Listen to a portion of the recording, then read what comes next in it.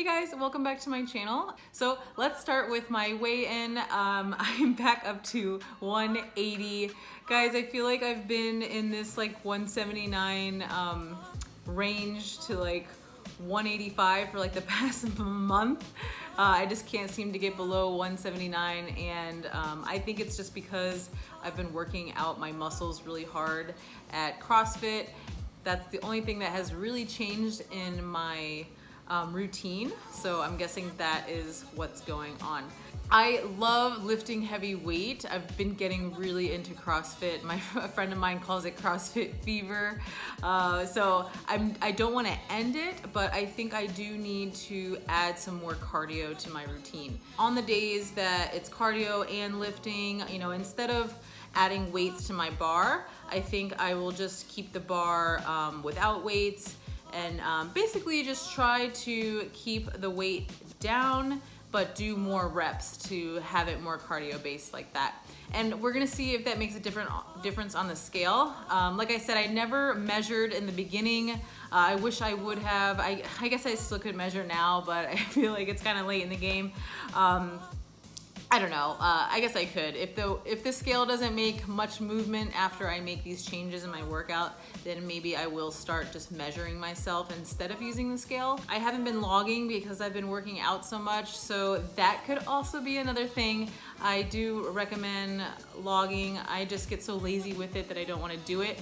But when it comes to situations like this where you feel like you're doing everything right and you're trying to figure out what it is that's not making that scale go down, you're gonna have to do like logging or more workouts. You know, you, you're gonna have to just keep playing with it. You don't wanna give up, right? It's either uh, give up and just get bigger and like lose all the um, progress that you've made or it's you know figure out what it is um, that you need to just tweak to make it work you know and that's what I recommend doing because you guys are doing great. You're putting in a lot of work and this is just how it goes. You're gonna have to tweak things all the time, you know, throughout your whole weight loss journey and throughout your whole life, you know. These are just, learning this now through your journey is only gonna help you um, be able to tweak other things in your life, whether it comes to career, family, um, friends, kids. You know, there's always going to be things that you're gonna have to change about your routine to make um, everything work. So, you know, I'm gonna try just kind of lowering my fat um, throughout the day. You know, not using so much butter or oil or cream um, because sometimes I get a little heavy handed with that. Like I was watching some old videos of mine where I just throw in like a ton of butter into something because I just don't even measure it. Uh, but you know, that's real life, right? We all just get lazy and we just throw stuff into a pot and mix it together. And so uh, we, we probably should be, I should be more careful of how much fat I'm using, like stuff like that. Pretty much the ultimate goal, I think, for all of us is to get to that comfort uh, zone of just knowing how you like to eat and what makes you feel good. Um, having like great habits of working out and only eating when you're hungry and or intermittent fasting or um, you know just whatever it is that you really enjoy just kind of keeping that going and not having to like weigh in all the time and um, yeah like that's like the ultimate goal right? Is just just to feel so comfortable with your diet with your activity level and that everything has just become such a habit that you have like a healthy lifestyle and that's just who you are and it's not something you have to like measure or keep track of or log because uh, you just like mastered it right? So uh, yeah so I'm excited to get to that point and I know I will and I know you guys will too. Just don't give up. Keep at it and tweak things here and there until you master it. Next weekend is open for a Q&A. I've been wanting to do this for a while because you guys have left me a lot of questions on YouTube and on Instagram and sometimes I just don't get around to answering them and then like more come in and so I want to go back through them uh, write down a, a, lot of questions. Some of you have like the same questions and so it'll be perfect to just do an entire Q&A video where I go through all those questions with you guys. Today is Sunday, so you have today, Monday, Tuesday, and Wednesday. Probably get me the question by Wednesday night and it doesn't even have to be keto related. Like if you're just curious about something about my life or whatever, you know, like favorite color, I don't know, like just ask me anything you want and leave it for me in a comment below this video and um, or on Instagram. You can DM me too any questions.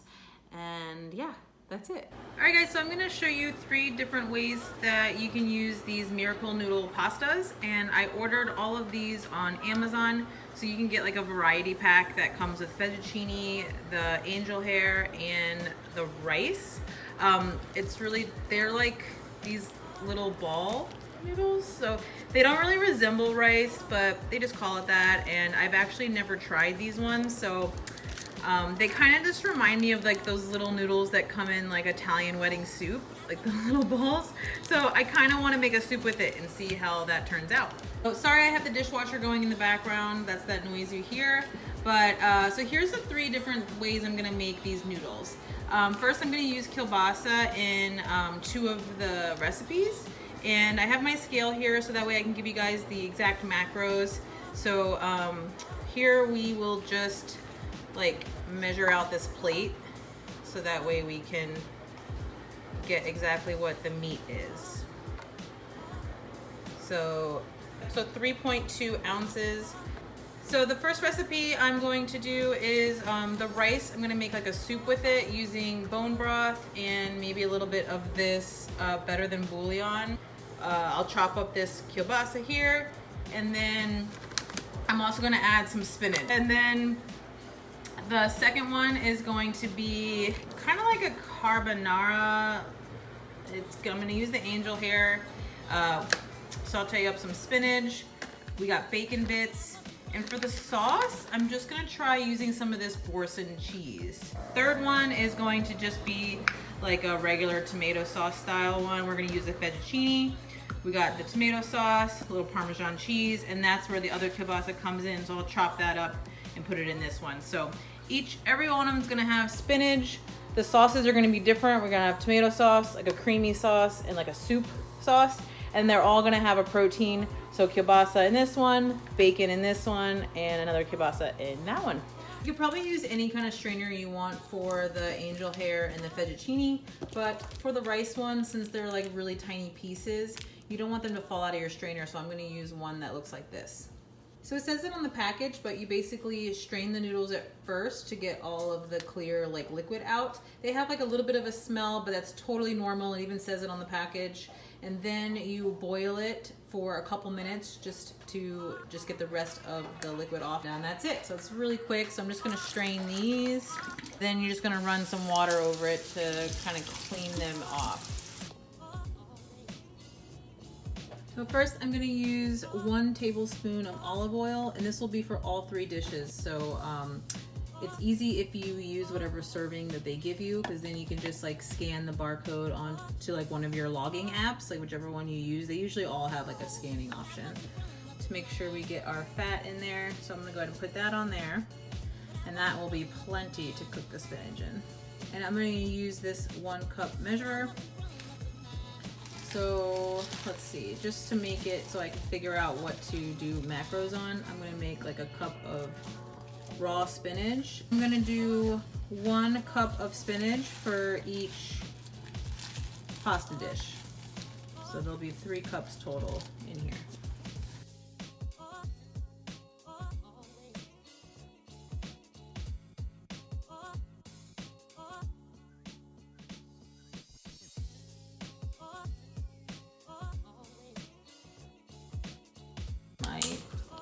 Base and we're gonna go with one cup.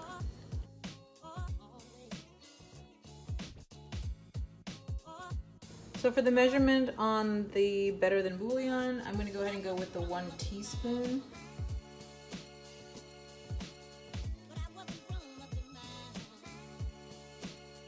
All right, so we're gonna get the pastas in these dishes here. So they're ready to go. That is our angel hair. Go ahead and cook these um, in the microwave. They're actually, they come already pre-cooked. I'm just gonna heat them up a little bit. Okay, so our spinach is done. So I'm gonna take two servings and just put them with the other dishes. one here, and then one is gonna go into the soup. This one we are gonna mix up with some bacon and the Boursin cheese. And I think I'll go ahead and go with one fourth cup. All right, so we got our bacon in there. The serving size on the Boursin cheese is two tablespoons. So I think I'm just gonna go with one tablespoon, like that.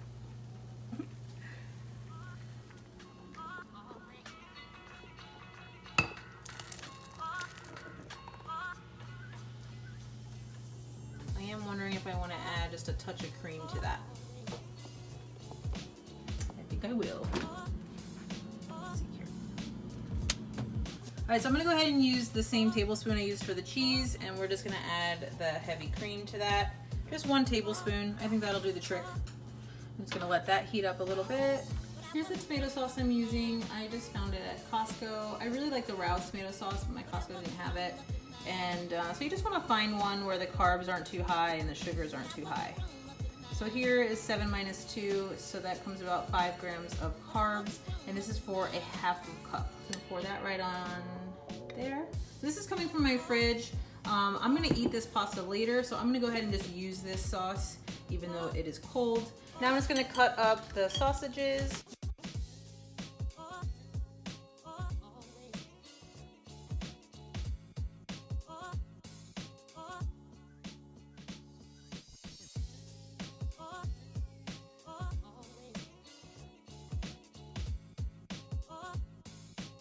All right, last but not least, I'm gonna do one tablespoon of Parmesan cheese on the tomato sauce one. All right, so let's do a little taste test. I'm not gonna taste test this one because it's just a tomato sauce. I've made it um, a bunch of times before, you know, just comes from the jar. So we'll put that aside. But these two, I'm super interested in. They just look so delicious. I'm gonna start with the take on Italian wedding soup. These little noodles are so cool. Mmm. Oh wow. It tastes really good. I love the broth. The Better Than Bouillon is good. It gives it a lot of flavor. It's not too salty at all. In fact, I could probably add a little bit more, hmm. especially if it's like cold where you live. I'm in South Florida, so it's like never cold, but this would be an awesome meal if it was a little chilly out. Super, super good. All right, let's try this, my take on carbonara pasta. That looks super yummy as well. So here we go. Got a little bit of everything on here. Mmm. Oh my gosh. Guys, this is so good. Like, no joke.